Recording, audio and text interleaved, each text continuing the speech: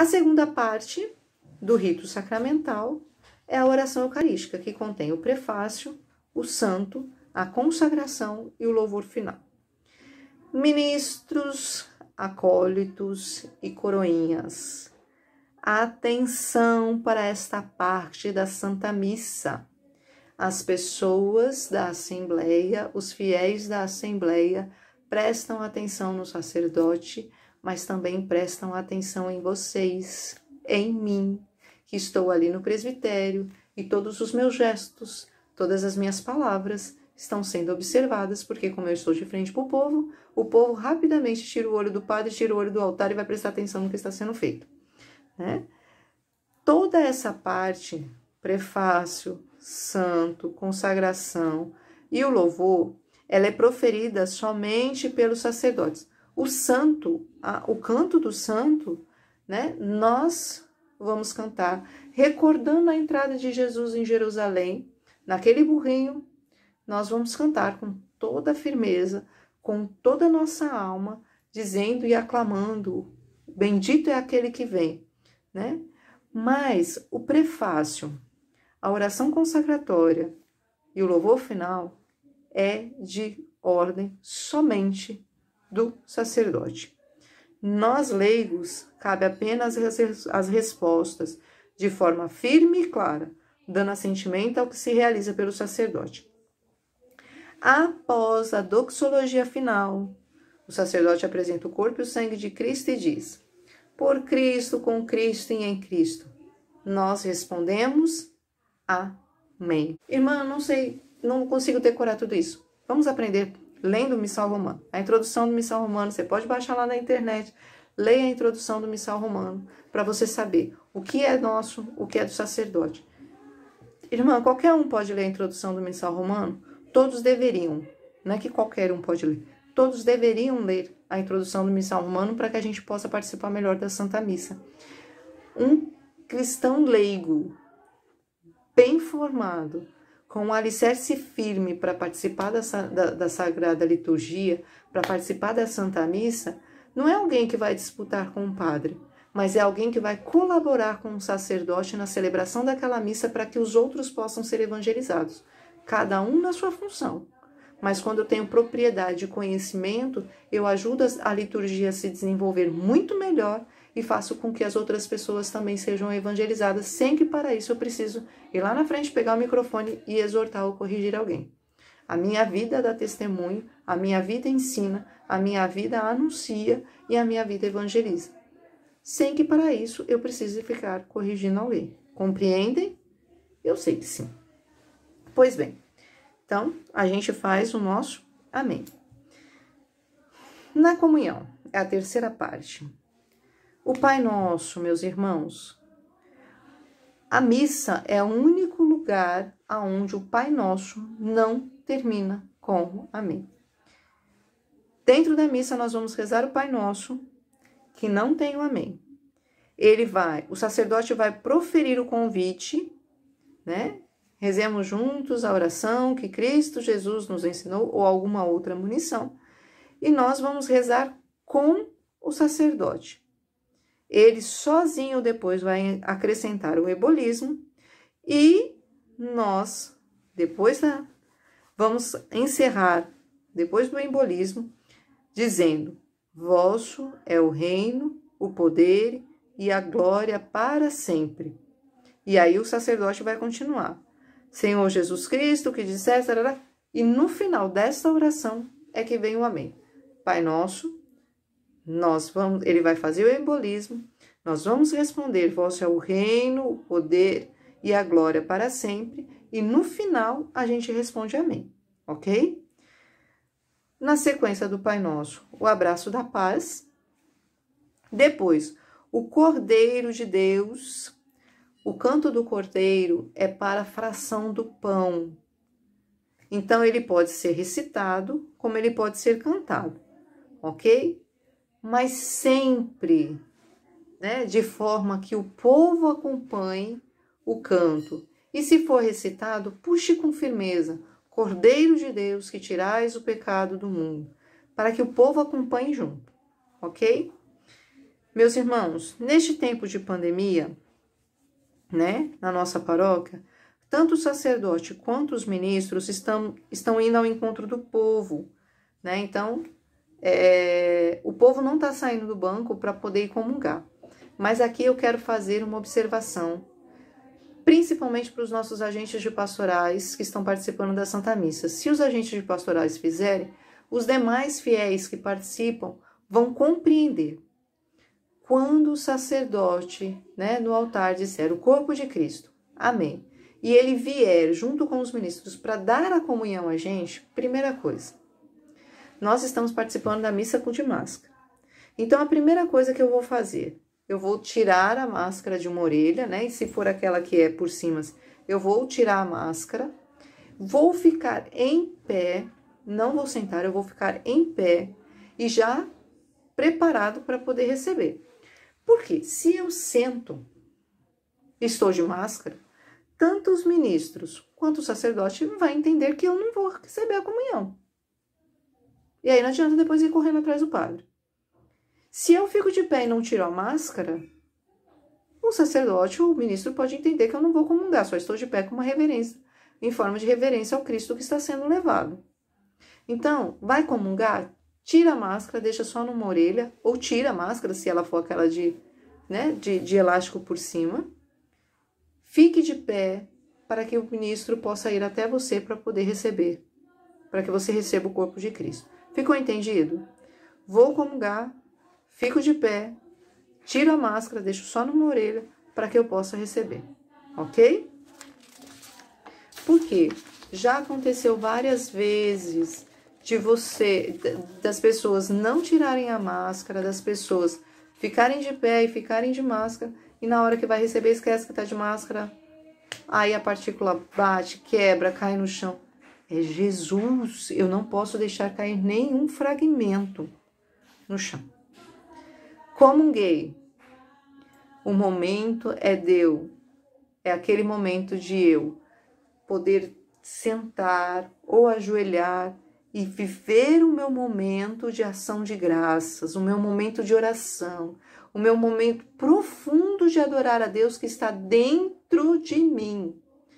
Por isso, ao comungar, eu não preciso ir lá para os pés do sacrário, porque o mesmo Jesus que está lá dentro do sacrário está dentro de mim. Ah, irmã, isso é um costume que vem da minha família. Desculpe, mas é um costume que não tem lógica.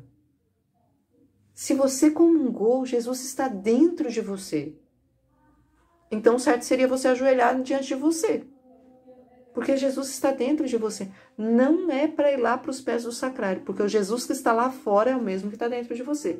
Se você tem o costume de ajoelhar, então vá, volte para o seu lugar, ajoelhe-se, abrace você mesmo, né? Ou feche os seus olhos, sente, feche os seus olhos, ou nas suas mãos e faça o seu momento de oração, de adoração ao Cristo que está dentro de você. Irmã, eu não posso comungar por N motivos. Então, agora, nesse momento, é o momento de você sentar, fechar os seus olhos e ali você fazer a sua oração, né? Você fazer o seu momento de entrega, a sua comunhão espiritual, né? No desejo, se é por falta de confissão, no desejo de se confessar o mais rápido possível para poder retomar a confissão, a comunhão.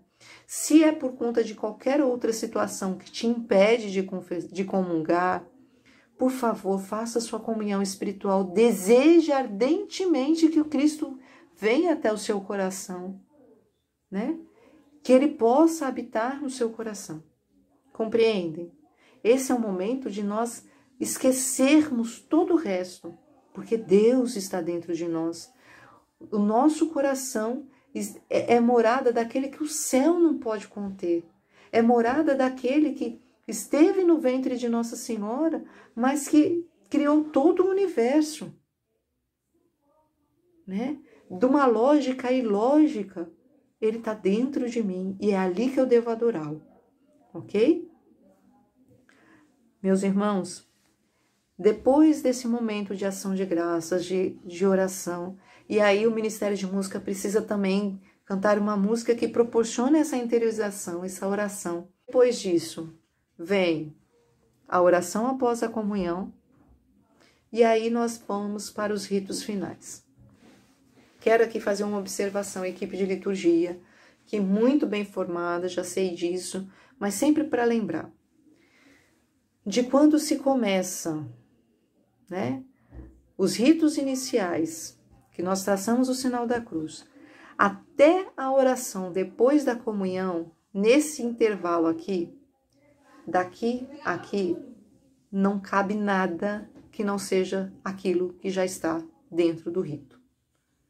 Nada pode ser colocado aqui.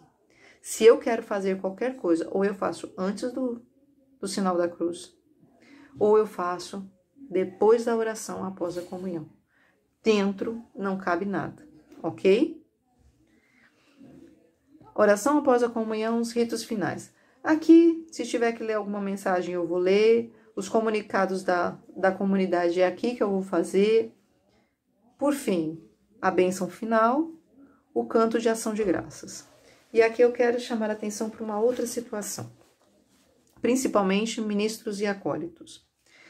Quando se encerra, né, vai fazer a procissão de saída, a cruz à frente, né, os ministros, o sacerdote ou na sacristia, ou ali próximo, né, da, na, na frente da porta da sacristia, ali no final.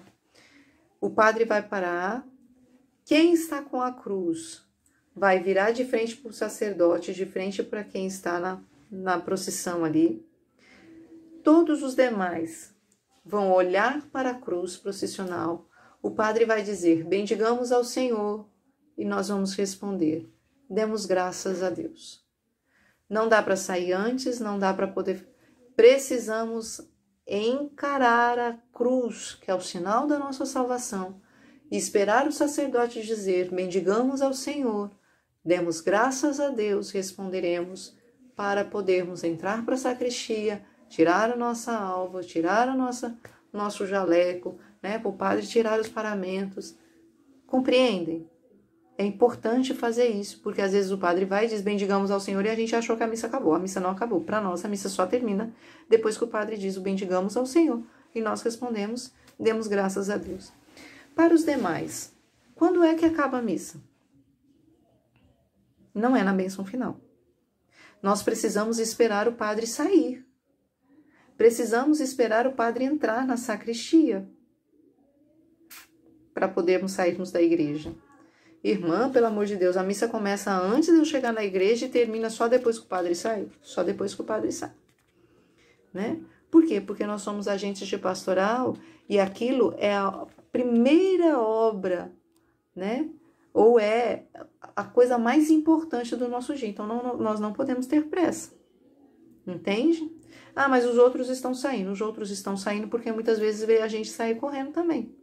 E à medida que nós vamos educando o povo com os nossos gestos, com a nossa resposta, com a nossa postura dentro da missa, nós vamos também fazendo com que os outros possam viver melhor a celebração da Santa Missa.